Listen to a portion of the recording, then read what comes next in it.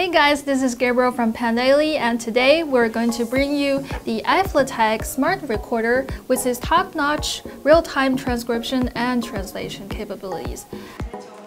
As a reporter, I have tons of interviews to transcribe each day, whether it's in Chinese or English, and I have to say it's a huge pain.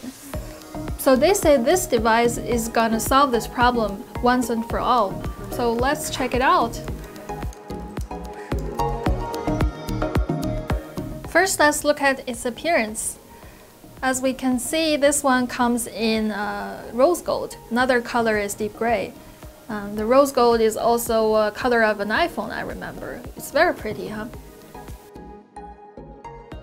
So from the appearance, I'm probably going to ditch my old Sony recorder. I really like this color, although it's a little bit girly. Of course, the most important functionality of the recorder is its receiver quality.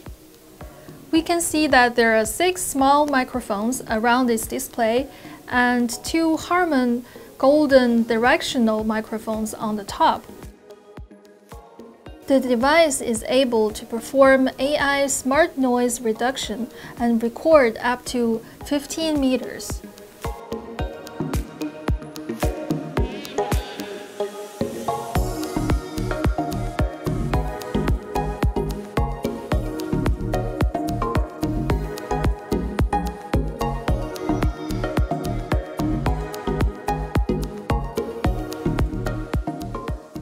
So why we need the SIM card slot, we'll get to this later. As I mentioned before, the highlight of this product is its real-time transcription and translation, and it supports both languages. Now let's try two tongue twisters. 吃葡萄不吐葡萄皮，不吃葡萄倒吐葡萄皮。She sells seashells by the seashore. The shells she sells are surely seashells. So if she sells shells by the seashore, I'm sure she sells seashore shells.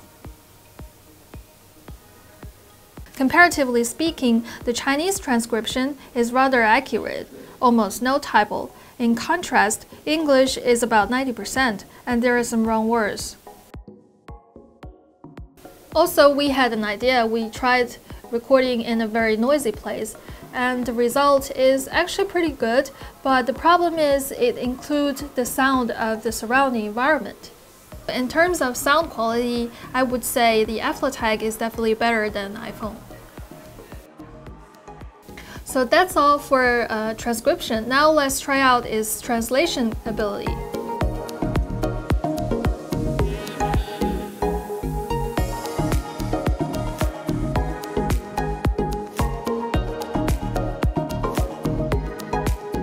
You could probably try using this to watch some Chinese TV series without English subtitles.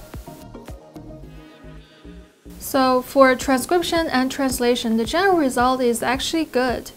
But I would say there are two major shortcomings.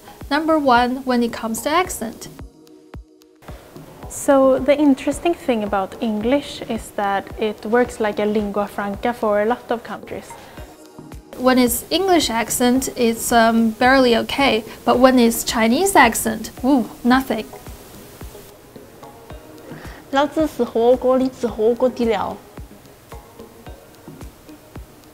Secondly, the device only functions well when there is good internet access. If there is no Wi-Fi, you can always resort to hotspots. That's where the SIM card I mentioned earlier comes in. With internet connection, you can continue its regular operation on the go. Without internet access, this is just an ordinary recorder, you could just use a smartphone anyway.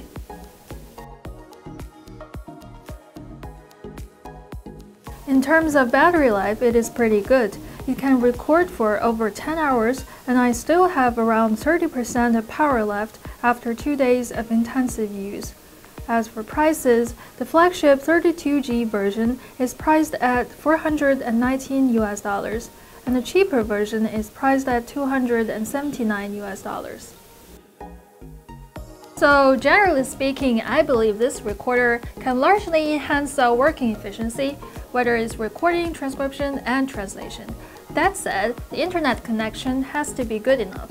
So that's all for today. If you like our video, please give us a like or comment down below your favorite tongue twister. So my favorite is 四十四十是十十四是十四四十是四十 Such a disaster for Sichuan people. She sells seashells by the seashore. The shells she sells are surely seashells. So if she sells shells by the seashore, I'm sure that's. Dang. 差不多